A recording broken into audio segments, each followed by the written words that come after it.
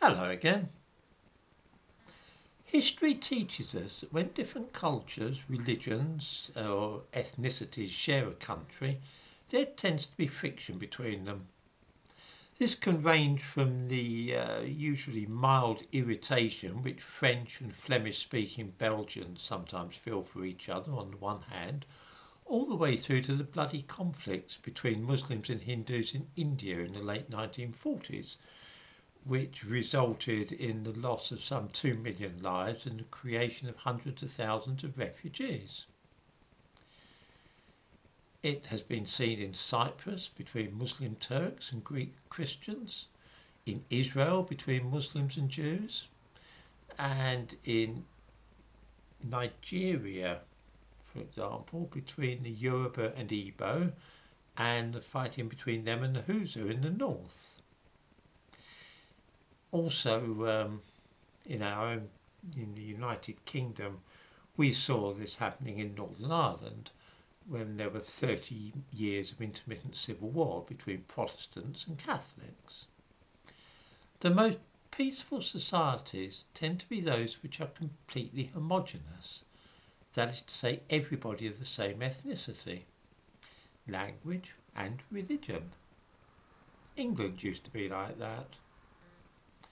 Despite the untruthful claims about the country always having been diverse, until a few decades ago, almost everybody in England was white, English speaking, and Protestant.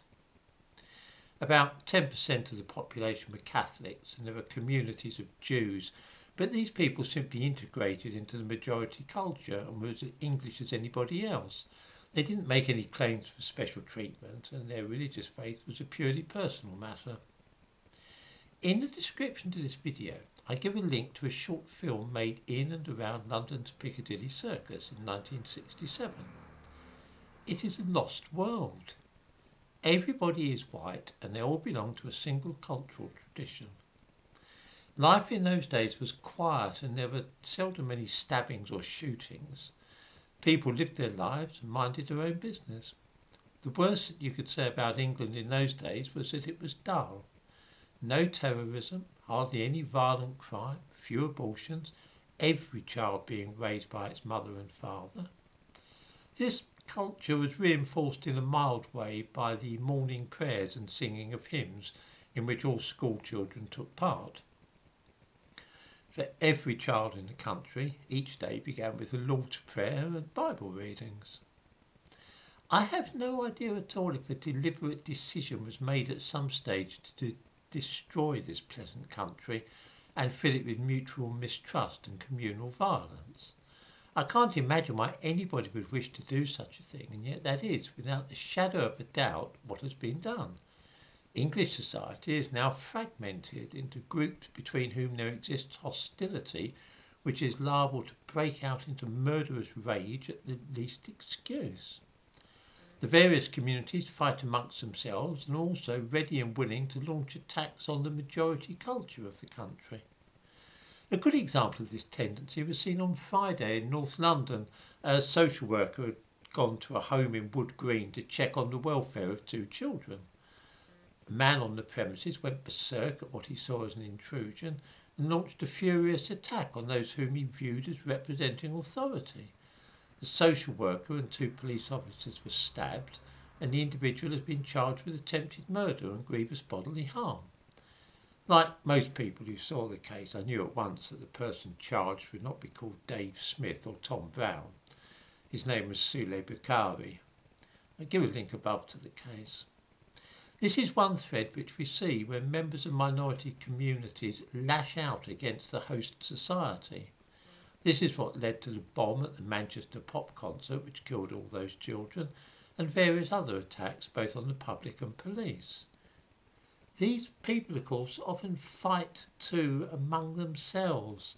Last month in the South London district of Streatham, there was a fight with knives, following which Donardo Samuels Brooks was killed, charged with his murder with Denzel Quatang and some other teenagers. So far this year, 21 teenagers have been murdered in London. The latest two last month were Tamim Ian Habimana, aged 15, and Keen Flynn Harling, aged 16. Neither of them were white English, of course. Different nationalities, ethnicities and religions have different traditions and ways of life. Some cultures settle disputes with frank discussion ending with shaking hands. Others resort to guns and knives. In the days when it was a homogeneous white Christian society, England was pleasant and quiet. Now that it has been turned into a country full of various religions and ethnic groups, some of whom hate each other and others who wish to fight against the majority culture, the country has gone to the dogs in no small measure. I have no idea why we have chosen to trash what used to be a calm, law-abiding country and turn it into what we see today. But I, for one, do not think that it has been an improvement. Multicultural societies do not work. They almost always lead to bloodshed and violence and the one which we have established in England doesn't look as though it's going to be any exception to this general rule.